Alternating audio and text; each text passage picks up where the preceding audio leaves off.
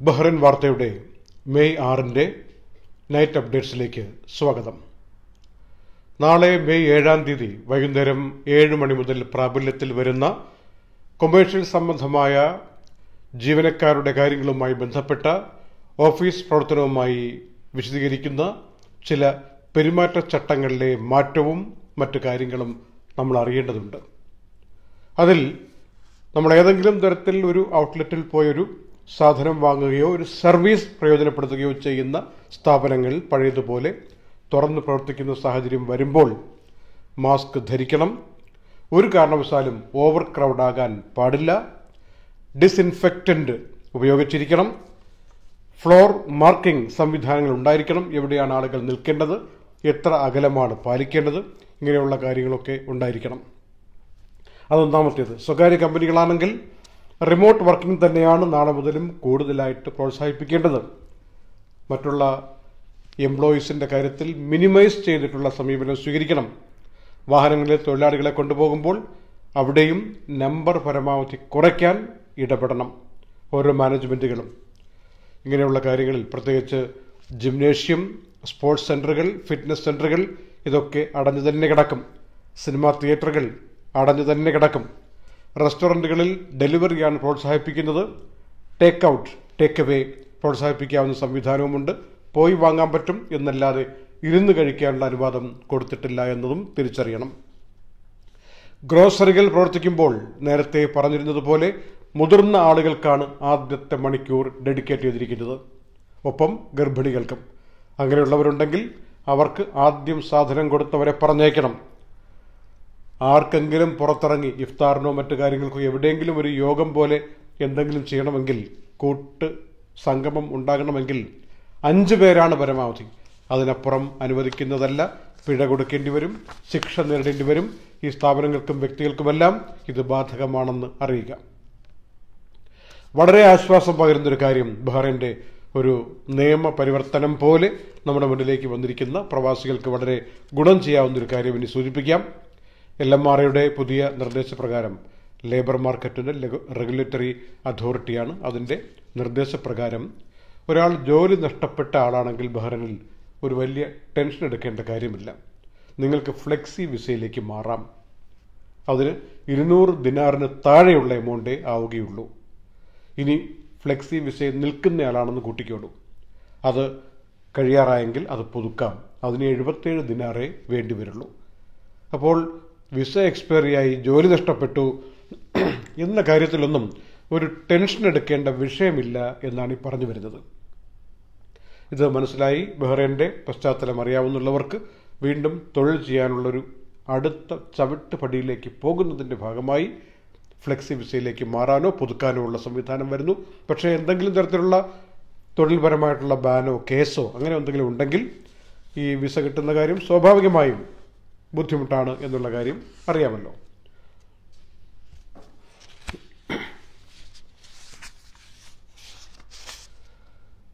മറ്റന്നാൾ മുതൽ ബഹ്റിൽ നിന്നുള്ള ഫ്ലൈറ്റുകളുടെ എല്ലാവരും കാത്തു കാത്തിരുന്ന റിപ്പാർട്ടേഷൻ ഇവാക്യുവേഷൻ ഫ്ലൈറ്റിന്റെ സഞ്ചാരം ഫ്ലൈറ്റ് പോവുകയാണ്.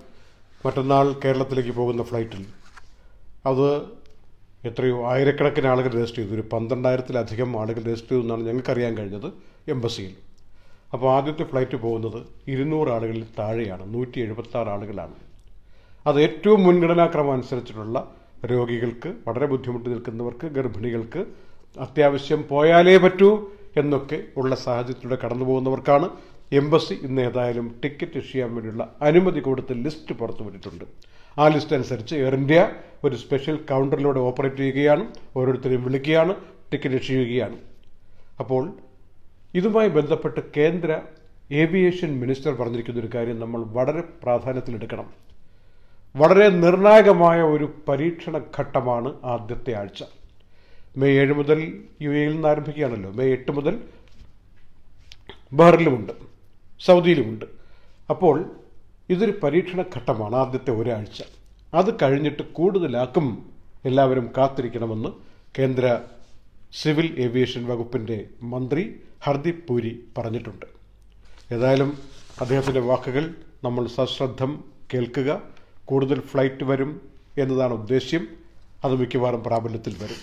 പന്ത്രണ്ടായിരം രജിസ്ട്രേഷൻ കഴിഞ്ഞതിലല്ലാതെ ഈ ഒരു നൂറ്റി എഴുപത്തി ആറ് പേരെ കൊണ്ടുപോയതുകൊണ്ട് പ്രത്യേകിച്ച് ആളുകൾക്ക് ആ ഒരു ലക്ഷ്യത്തിലെത്താൻ പറ്റില്ല.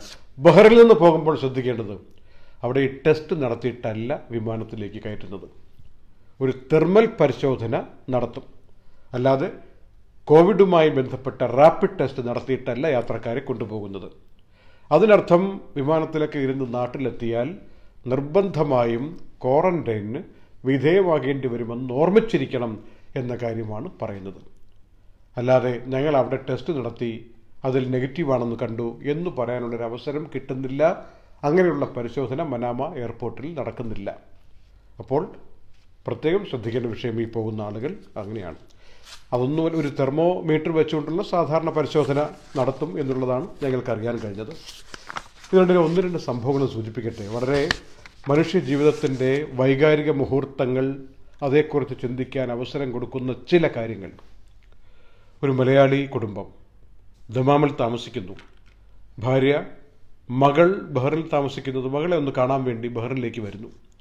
കോസ്വേ വഴിയാണ് വരുന്നത് റോഡ് മാർഗം. അറിയാമല്ലോ? ഇവിടെ വരുന്നു മകളെ കാണുന്നു. പക്ഷെ തിരിച്ചു പോകുന്ന സമയമാകുമ്പോൾ കോസ്വേ അടയ്ക്കുന്നു. ഇനി അങ്ങോട്ട് സൗദിയിലേക്ക് പ്രവേശിക്കാൻ കഴിയുന്നില്ല. അങ്ങനെ ബഹറിൽ തന്നെ തങ്ങുന്നു. അടുത്ത ദിവസം ഭർത്താവ് ദമാമിൽ മരിക്കുന്നു. ഹൃദയസ്തംഭനം വന്നു. ഭാര്യ ബഹ്റനിൽ ഭർത്താവിന്റെ അടുത്തേക്ക് ദമാമിലേക്ക് പോകാൻ പറ്റുന്നില്ല. ഭർത്താവ് ദമാമിൽ ഹൃദയസ്തംഭനം വന്ന് മരിക്കുന്നു.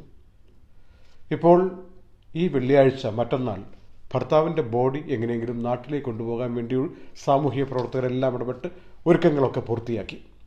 ഭാര്യയ്ക്ക് പോകണമെങ്കിൽ ഈ ലിസ്റ്റിൽ പേര് വരണം. ബഹ്റനിലെ എംബസിയിലെ ലിസ്റ്റിൽ പേര് വരണം. ഏതായാലും ബി കെ എസ് എഫ് ഭാരവാഹികളും വോളണ്ടിയേഴ്സും എല്ലാം ഇടപെട്ടുകൊണ്ട് മാനുഷിക പരിഗണന കൊടുത്തുകൊണ്ട് ഏതായാലും ഇത്രയും വലിയ ദുരന്തത്തിൽ ആ കുടുംബം എത്തി. പത്തനംതിട്ട സ്വദേശികളാണ്. അവർക്ക് B B K S F നൽകിയ ആ ഒരു സഹായത്തിന്റെ ആനുകൂല്യത്തിൽ അവർ മറ്റന്നാൾ ബഹ്റിൽ നിന്ന് പുറപ്പെടുന്ന ഫ്ലൈറ്റിൽ അവർക്കൊരു സീറ്റ് കൊടുത്തിരിക്കുകയാണ്. അപ്പോൾ ഭർത്താവ് മൃതദേഹമായി അവിടെ നിന്ന് ദമാമിൽ നിന്ന് നാട്ടിലേക്ക് പോകുന്നു. അതേ ദിവസം ഭാര്യ ബഹ്റിൽ നിന്നും നാട്ടിലേക്ക് ഇതൊക്കെയാണ് കോവിഡ് കൊണ്ടുവരുമ്പോൾ കോവിഡ് വരുമ്പോൾ ഒരു കുടുംബത്തിനകത്തുണ്ടാകാവുന്ന പ്രശ്നങ്ങളെന്ന് മനസ്സിലാക്കാൻ വേണ്ടി പറയുകയാണ്. എത്ര വൈകാരികമായിട്ടുള്ള പ്രശ്നങ്ങളിലൂടെ ആയിരിക്കും ഈ കുടുംബം കടന്നു പോകുന്നത് നമ്മൾ മലയാളികളാവുമ്പോൾ മറ്റുള്ള മലയാളികളുടെ കുടുംബ ബന്ധങ്ങളുടെ ഇഴയെടുപ്പം മനസ്സിലാവുകയും എത്രമാത്രം ദുഃഖിക്കുന്നവരാണവർ എന്നത് മനസ്സിലാക്കാൻ പറ്റുകയും ചെയ്യും. ഏതായാലും ഇത്തരം സന്ദർഭങ്ങളിൽ ബി കെ എസ് എഫ് പോലുള്ള പ്രസ്ഥാനങ്ങൾ നടത്തുന്ന സമയോചിതമായ ഇടപാട് ഇടപെടൽ വളരെ ഗൗരവത്തിൽ പ്രശംസ അർഹിക്കുന്നതാണ്. ഇത്തരം വിഷയങ്ങളിൽ സജീവമായി വീണ്ടും ഇടപെടാൻ തക്ക പ്രാപ്തിയിലേക്ക് നമ്മുടെ ബഹ്റൈനിലെ മലയാളി സംഘങ്ങൾ സംഘടനകൾ ഭാരവാഹികൾ വോളണ്ടിയർമാർ ഒക്കെ എത്തട്ടെ എന്ന് ഞങ്ങൾ ആശംസിക്കുന്നു പ്രാർത്ഥിക്കുന്നു. അതുപോലെ മറ്റൊരു സംഭവം കൂടി പരിഹരിക്കപ്പെട്ടിട്ടില്ല ഞങ്ങളുടെ മുന്നിൽ വന്നത്. ആ ശബ്ദ ശബ്ദശകലങ്ങളൊക്കെ കേട്ടാൽ നമ്മൾ ജീവിതം പണയം വെച്ച് കൊടുക്കും അവരെ സഹായിക്കാൻ. അത്രയ്ക്കാണ്. എത്രയോ വർഷങ്ങളായിട്ട് രണ്ടായിരത്തി നാല് മുതൽ ബഹ്റിനിൽ ജോലിക്കുകയും ജോലി ചെയ്യുകയും അല്ലെങ്കിൽ ചെറിയ കച്ചവടങ്ങളൊക്കെ നടത്തുകയും ചെയ്യുന്ന ഒരു മലയാളി. അദ്ദേഹത്തിന് ഈ പതിനാറ് വർഷത്തിനിപ്പുറം വലിയൊരു പ്രതിസന്ധി വന്നിരിക്കുന്നു സാമ്പത്തികമായിട്ട്. അദ്ദേഹവും ഭാര്യയുമുണ്ട്. പക്ഷേ ലാൻഡ് ലോഡ് വന്ന് പറയുകയാണ് നൂറ് ദിനാർ അടുത്ത ദിവസം എത്തിച്ചില്ലെങ്കിൽ ഇന്ന് ഇറങ്ങിക്കോ എന്ന് പറഞ്ഞിട്ടുള്ള വാർണിംഗ് നോട്ടീസ് ഒരുപാട് കൊടുത്തു. ഞങ്ങൾക്ക് ആ വാട്സപ്പ് സന്ദേശങ്ങളും അയച്ചു തന്നു. ഇന്നോ നാളെയോ രാത്രി ആ റൂം പൂട്ടി ചാവിയും കൊണ്ട് പോകാൻ വേണ്ടി ആ ഒരു ലാൻഡ് ലോഡ് വരും. അദ്ദേഹം ഭയന്നിട്ട് കഴിഞ്ഞ കുറേ ദിവസങ്ങളായിട്ട് ഉറക്കമില്ല എന്ന് പറഞ്ഞ് ഞങ്ങൾ ഇവരെ അറിയിച്ചിരിക്കുകയാണ്. ഈ ഭാര്യയും കൊണ്ട് രാത്രി എങ്ങോട്ട് പോകും? കുറച്ച് ദിവസത്തേക്ക് കൂടി ചോദിച്ചു. ഒരുപാട് നാളായിട്ട് ലാൻഡ് ലോഡിനോടും ചോദിച്ചുകൊണ്ട് ചോദിച്ചിങ്ങനെ ഇരിക്കുന്നു. ഇല്ലെങ്കിൽ പോകൂ എന്ന അർത്ഥത്തിൽ അദ്ദേഹം പറഞ്ഞു എനിക്ക് വേറെ ആളുകളുണ്ട് താമസിപ്പിക്കാൻ. ഞാനും ബുദ്ധിമുട്ടിലാണെന്ന് അദ്ദേഹവും പറയുന്നു. ഇവിടെ നമ്മൾ എങ്ങനെ ഇടപെടും? എല്ലാവരുടെയും ഇത്തരം പ്രശ്നം പരിഹരിക്കാൻ നമുക്ക് കഴിയുമോ? ഒരിക്കലുമില്ല. അപ്പോൾ ചില മാനുഷിക പരിഗണനകൾ ചില വിഷയത്തിൽ കൊടുക്കാൻ തക്ക ഒരു സംവിധാനം നമുക്ക് എന്തെങ്കിലും ചെയ്യാൻ പറ്റുമോ? അദ്ദേഹം പറയുന്നു പാസ്പോർട്ട് തരാം പലിശ വേണമെങ്കിൽ തരാം. ഒരു നൂറ് ദിനാർ ഇപ്പോൾ എനിക്ക് കിട്ടണം. എനിക്കും എന്റെ ഭാര്യയ്ക്കും നിലനിൽക്കാൻ വേണ്ടി. അല്ലെങ്കിൽ തൊട്ടടുത്ത് മറ്റൊരു ഫ്ലാറ്റിൽ ചെറിയൊരു ഒഴിവുണ്ട്. അവിടെ പോയി താമസിക്കാനെങ്കിൽ ഒരു നൂറ് ദിനാർ കൊടുക്കേണ്ടി വരും. അതില്ലാതെ പതിനാറ് വർഷമായി ജോലി ചെയ്യുന്ന ഒരാൾക്ക് അതില്ലാതെ വരുന്ന സാഹചര്യം ഒന്ന് ആലോചിച്ച് നോക്കൂ. എത്ര ബുദ്ധിമുട്ടിയാണ് മനുഷ്യർ കഴിയുന്നത് എന്നുള്ളത് തിരിച്ചറിയാൻ വേണ്ടിയാണ് ഈ സംഭവം സൂചിപ്പിച്ചത്. ഇന്ന് രാത്രി അദ്ദേഹത്തിന് ഏതെങ്കിലും വിധത്തിൽ ബഹ്റൻ വാർത്തയിൽ എത്രയോ പ്രാവശ്യം അദ്ദേഹം ഞങ്ങളുമായിട്ട് ബന്ധപ്പെട്ട് കാര്യം സംസാരിച്ചിട്ടുണ്ട്. അങ്ങനെയുള്ള ബുദ്ധിമുട്ട് നിൽക്കുന്ന ആളുകളുടെ പേരൊന്നും ഇവിടെ പരാമർശിക്കുന്നില്ല. വിഷയം മനസ്സിലായല്ലോ. ഇത്തരം സാഹചര്യങ്ങളുടെ കടന്നു പോകുന്ന കുടുംബങ്ങളുണ്ട് എന്ന് നമ്മൾ തിരിച്ചറിയണം. ഇതാണ് പ്രവാസികൾ. ഇങ്ങനെയുള്ളവരെയാണ് കോടീശ്വരന്മാരെന്നൊക്കെ കണ്ട് നാട്ടിൽ ഓരോരുത്തർ പിഴിയാനൊക്കെ നോക്കുന്നതും എല്ലാ വിധത്തിലും ദുരുപയോഗം ചെയ്യാൻ വേണ്ടി ശ്രമിക്കുന്നതും ഏതായാലും യഥാർത്ഥ അവസ്ഥ ഇവിടെ പറയുകയാണ്. എൺപത്തിനാല് ദിനാറാണ് കൊച്ചിയിലേക്കുള്ള ഫ്ലൈറ്റിന് ബഹ്റിനിൽ നിന്ന്. കോഴിക്കോട്ടേക്ക് എഴുപത്തിനാല് ദിനാറാണ് ഫിക്സ് ചെയ്തിരിക്കുന്നത്. ഇതിൽ കൂടുതൽ കൊടുക്കേണ്ടതില്ല. ഇനി വേറൊരു കാര്യം. നേരത്തെ ടിക്കറ്റ് എടുത്ത് എയർ ഇന്ത്യയിൽ വെച്ചിരിക്കുന്നവരാണെങ്കിൽ അവർക്ക് റീഫണ്ട് കിട്ടും എന്നുള്ള കാര്യം കൂടി ഓർമ്മിക്കണം. മുമ്പൊക്കെ പോകാൻ വേണ്ടി എടുത്തു വെച്ചിരുന്ന ആളുകൾ ഉണ്ടാവുമല്ലോ. വെള്ളിയാഴ്ച നാല് മണിക്കാണ് ഫ്ലൈറ്റ് പുറപ്പെടുക. ബഹ്റൻ സമയം രാത്രി പത്തൊമ്പതിന് കൊച്ചിയിൽ. ഇന്ത്യൻ സമയം രാത്രി പത്തൊമ്പതിന് പത്തമ്പതിന് കൊച്ചിയിൽ വിമാനം ലാൻഡ് ചെയ്യുന്ന വിധത്തിലാണ് ഷെഡ്യൂൾ ചെയ്തിരിക്കുന്നത്.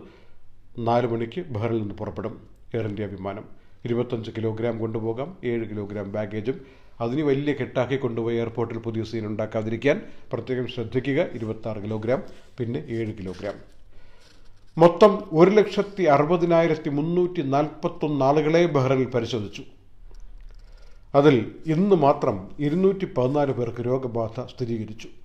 ഉച്ചയ്ക്ക് നൂറ്റി ഇരുപത്തിരണ്ടും രാത്രി വന്ന റിപ്പോർട്ടിൽ തൊണ്ണൂറ്റി രണ്ടും ഇതിൽ നൂറ്റി അമ്പത്തൊമ്പത് പേർ പ്രവാസികളാണ്. തൊണ്ണൂറ്റിയെട്ട് പേർ ഇന്ന് റിക്കവറിയായി. ആയിരത്തി എണ്ണൂറ്റി അറുപത് പേർ ഇത് ഇതുവരെ രോഗമുക്തരായി പോയിട്ടുണ്ട്. ഇനി ആശുപത്രിയിലുള്ളത് രണ്ടായിരത്തി അറുപത്താറ് ആളുകളാണ്. അതിൽ നാല് പേർ ക്രിട്ടിക്കലായി കഴിയുന്നുണ്ട്. ആയിരത്തി എണ്ണൂറ്റി അറുപത് പേർ മൊത്തത്തിൽ റിക്കവറിയായി പോയെന്ന് പറഞ്ഞു. എട്ട് പേർ മരിക്കുകയും ചെയ്തു. ഇത് പറയുമ്പോൾ മുപ്പത്തേഴ് ലക്ഷത്തി തൊണ്ണൂറ്റി രണ്ടായിരത്തിലധികം ആളുകൾക്ക് ആഗോളാടിസ്ഥാനത്തിൽ രോഗബാധ. ഇന്നലെ മാത്രം അയ്യായിരത്തി എഴുന്നൂറ്റി എൺപത്തിയേഴ് പേർ മരിച്ചു. ഇന്ന് ഇതുവരെ നാലായിരത്തി മുന്നൂറ്റി അമ്പത് പേർ മരിച്ചതായി വിവരം കിട്ടിയിട്ടുണ്ട്. രാത്രി വൈകി ഇന്നത്തെ സമ്പൂർണ കണക്ക് അറിയാൻ പറ്റും. അപ്പോൾ ഇന്നലത്തെ മരണസംഖ്യ കടന്നു പോകുമോ എന്ന ഭീതിയുണ്ട്. സൗദി അറേബ്യയിൽ നിന്ന് ഒമ്പത് മരണം യു എയിൽ നിന്ന് പതിനൊന്ന് മരണം കുവൈറ്റിൽ രണ്ട് പേർ മരിച്ചു.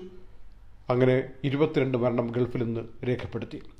സൗദി അറേബ്യയിൽ മൊത്തം മരണസംഖ്യ ഇരുന്നൂറ്റി ഒമ്പതും യു എയിൽ മൊത്തം നൂറ്റി അമ്പത്തേഴും സൗദിയിൽ മുപ്പത്തൊന്നായിരം കടന്നിരിക്കുന്നു മുപ്പത്തിരണ്ടായിരത്തോളമായിരിക്കുന്നു രോഗബാധ യു എയിൽ പതിനയ്യായിരം പതിനയ്യായിരത്തി എഴുന്നൂറ്റി മുപ്പത്തെട്ടായിരിക്കുന്നു രോഗബാധ ഖത്തറിൽ രണ്ടാം സ്ഥാനം പതിനേഴായിരത്തി തൊള്ളായിരത്തി എഴുപത്തിരണ്ടായിരിക്കുന്നു ബഹ്റിലാണ് ഏറ്റവും കുറഞ്ഞ മരണം എട്ട് പേർ ഒമാനിൽ പിന്നീട് പതിമൂന്ന് പേർ ഖത്തറിൽ പന്ത്രണ്ട് പേർ മരണമടഞ്ഞിരിക്കുന്നു. ഇന്ത്യയിൽ അമ്പത്തിരണ്ടായിരത്തി മുന്നൂറ്റി നാൽപ്പത് പേർക്ക് രോഗബാധ എഴുപത്തഞ്ച് പേർ ഇന്ന് മരിച്ചു രണ്ടായിരത്തി തൊള്ളായിരത്തി നാൽപ്പത് പേർ ഇന്ന് രോഗബാധ ആയിരത്തി എഴുന്നൂറ്റി അറുപത്തെട്ട് പേർക്കാണ് മൊത്തം മരണം സംഭവിച്ചിരിക്കുന്നത്. ഇന്ത്യയിൽ പേടികൊണ്ട് കൊറോണ ഭീതി കൊണ്ട് ആത്മഹത്യ ചെയ്ത ആളുകളുടെ എണ്ണം മുന്നൂറാണെന്ന റിപ്പോർട്ടും വന്നിരിക്കുകയാണ്. എങ്കിലും ഇതൊക്കെ പറയുമ്പോൾ ഏറ്റവും കൂടുതൽ ആളുകളെ പരിശോധിച്ച ശരാശരിയിൽ മുന്നിൽ നിൽക്കുന്ന രാജ്യങ്ങളിലൊന്നാണ് ബഹ്റൈൻ. ഭീതി വേണ്ട എന്ന് പറയാൻ തക്ക ഒരു കാരണമുള്ളത് കൂടുതൽ റിക്കവറി കേസുകൾ വരികയും കൂടുതലായിട്ട് രോഗബാധ ഉണ്ടാവുന്നതിൽ നിന്ന് മാറി നിൽക്കുകയും ലോകത്ത് റിക്കവറിയുടെ എണ്ണം കൂടുകയും രോഗബാധ കുറയുകയും ഒക്കെ ചെയ്യുന്ന ഒരു ഘട്ടത്തിലേക്ക് പ്രവേശിച്ചിരിക്കുന്നു. തൊണ്ണൂറ് ദിവസമാണ് ഇതിന്റെ ഒരു വളരെ ദുർഘടമായ കാലാവധി. ആ കാലാവധി കഴിഞ്ഞുകൊണ്ട് മുന്നോട്ട് പോകുന്ന റിപ്പോർട്ടുകളാണ് എല്ലാ ഭാഗത്തു നിന്നും കിട്ടിക്കൊണ്ടിരിക്കുന്നത്. അതുകൊണ്ട് നമുക്ക് ആശ്വസിക്കാൻ പറ്റിയ ഒരു രീതിയിൽ എത്തുന്നുണ്ട്. ഇന്നിപ്പോൾ ചോദിക്കുന്നുണ്ട് ലുലു ബഹ്റൈന്റെ സമ്മാനം ഇരുപത് ദിനാർ ഇന്നില്ലേ എന്ന്. രണ്ട് ദിവസം തന്നില്ലേ? ഇനി വരും ഉടനെ വരും. അടുത്ത ദിവസം ഞങ്ങൾ സംസാരിച്ചിട്ടുണ്ട് ലുലു മാനേജ്മെന്റ് തരാമെന്ന് അറിയിച്ചിട്ടുണ്ട്. അതെപ്പോൾ നാളെയാണോ മറ്റന്നാളാണോ എന്നുള്ള കാര്യം ഞങ്ങൾക്ക് നാളെ ഒരു അന്തിമമായിട്ടുള്ള അറിയിപ്പ് കിട്ടും. അതനുസരിച്ച് ഞങ്ങൾ പറയും. കിട്ടിയവർ ഞങ്ങളുടെ ഇൻബോക്സിൽ വന്നിട്ട് വാങ്ങിക്കൊണ്ട് പോയി സാധനം വാങ്ങാനുള്ള ഏർപ്പാടിലേക്ക് പോവുക. അതുപോലെ വാഫി ആപ്സിന്റെ കാര്യം ഇന്നലെ സൂചിപ്പിച്ചു. ഒരുപാട് പേർ രജിസ്റ്റർ ചെയ്യാൻ വേണ്ടി പോയപ്പോൾ സൈറ്റ് ഡൗൺ എന്ന ഫീലിംഗ് കിട്ടി എന്ന് പറഞ്ഞുകൊണ്ട് ഞങ്ങൾക്ക് മറുപടി അയച്ചു. ശരിയായിരുന്നു. ചില സാങ്കേതിക തകരാറുകൾ ഇന്നലെ ഉണ്ടായിരുന്നു. അടുത്ത ദിവസം പരിഹരിച്ചിട്ട് എന്ത് ചെയ്യണമെന്ന് ഞങ്ങൾ വീണ്ടും പറഞ്ഞു തരും. അതുവരെ കാത്തിരിക്കുക. അവിടെ നിന്നും സമ്മാനങ്ങൾ ധാരാളമുണ്ട്. ഇന്നത്തെ ബഹ്റൈൻ വാർത്തയുടെ നൈറ്റ് അപ്ഡേറ്റ് സമാപിക്കുന്നു. നന്ദി. നമസ്കാരം.